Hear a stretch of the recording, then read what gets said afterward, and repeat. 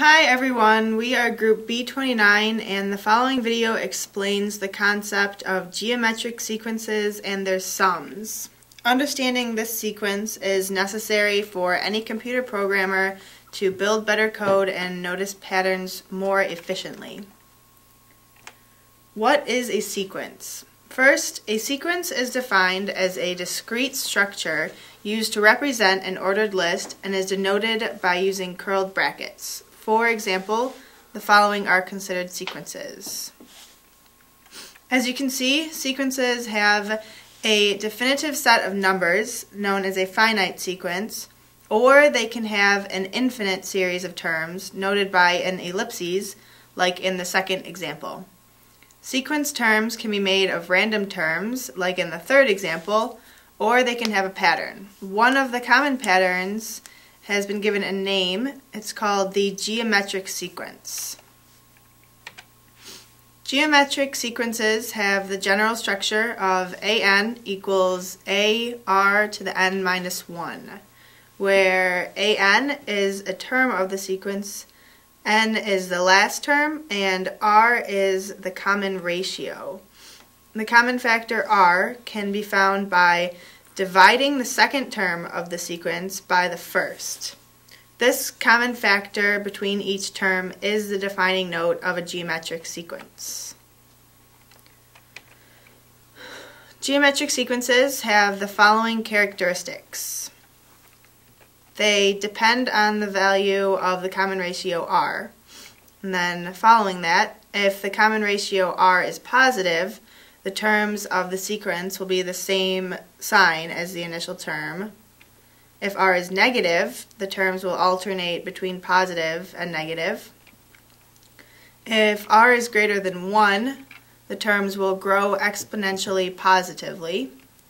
If r is less than 1, the terms will grow exponentially negatively. And if r equals 1, then the progression is constant. What are the uses of sequences? One operation of a sequence is to add the sequence of numbers and report the total, known as a summation. A summation is expressed with sigma. Then we have k, which expresses the lower limit of the summation. And it ends at the upper limit n. To the right of the summation is the pattern of the sequence's terms, which is denoted as x sub a sub k, sorry. There is a special equation which gives the summation of a geometric sequence.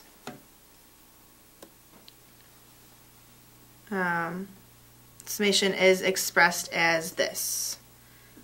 The closed form, or the formula on the right, is commonly used when the summation is for a large sequence that would be too difficult and time-consuming to add every term of the sequence. Although the summation of the geometric sequence looks different than the sequence form, they are related because the sequence is defined by the common factor r.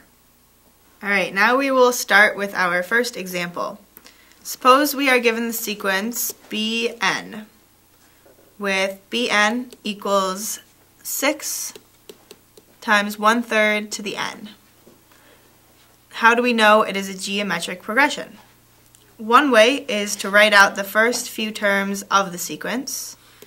So if we were to start with n equals 0, the sequence bn would be 6, 2, 2 thirds, 2 ninths, 2 twenty-sevenths, and so on. A geometric series would have a common ratio between each consecutive term. As we can see from the series, the first and second terms have a common ratio of one-third, and the following consecutive two terms have the same common ratio as well. So we can conclude that this is, in fact, a geometric sequence.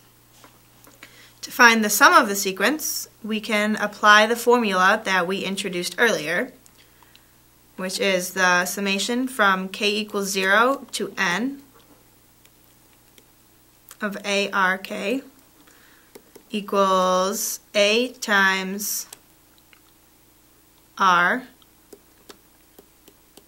to the n plus 1 minus 1 over r minus 1, where r does not equal 1. The first term in the sequence is 6, so our a equals 6, and we have a common ratio of 1 third. So to compute the expression,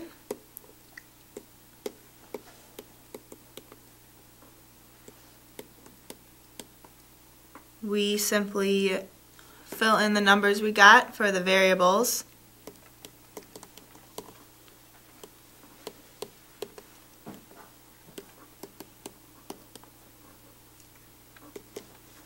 And our total is 8.9877. So if we want to compute the infinite series of Bn, we have to use a different formula which is the summation from k equals 0 to infinity. And that equals a over 1 minus r, so we get 6 over 1 minus 1 third, which equals 9. From the answers to both summations, we know that the sequence converges to 9, and very quickly. And for another example, we will compute the following expression. We have j equals 0 to 8 of 2 times negative 3 to the j. So first we have to make sure that it is in fact a geometric progression in order to apply the right formula. So looking at the sequence, writing out a few terms, we get 2, negative 6, 18, and negative 54. So we see that A equals 2 and R equals negative 3. So now we can use the formula to compute the summation. So we get 2 times negative 3 to the 9 minus 1 over negative 3 minus 1. And we get 9,842.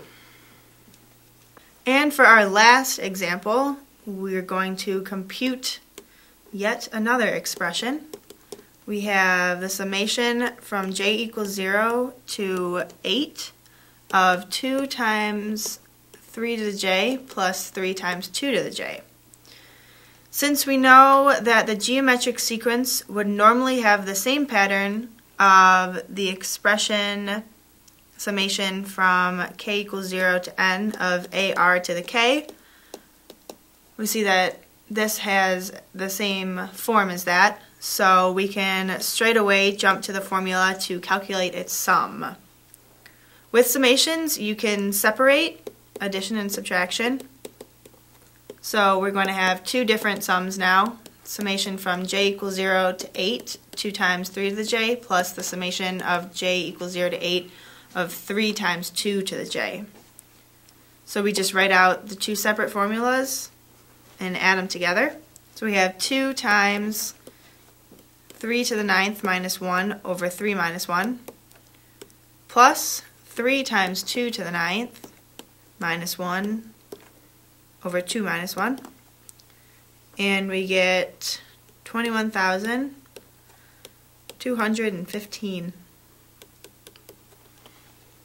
As you can see, geometric summations can be a powerful tool to use for data solutions in organization and computer science.